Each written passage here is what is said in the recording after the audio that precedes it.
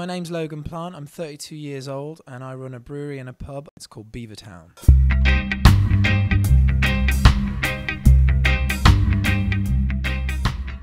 My earliest memory of my father would be being dragged to the football as a three or four year old and uh, hating it and hiding underneath his coat. My father taught me about style, probably not to wear tight bell bottoms and cowboy boots together. My favourite personal item of clothing, I think, would be a vest, a singlet, uh, because I can wear it with anything a shirt, under a t shirt, trousers, shorts, doesn't matter, it's comfortable. My three wardrobe essentials would be a good pair of shorts, um, a comfortable fitting pair of jeans, and being an Englishman, you need a good winter coat.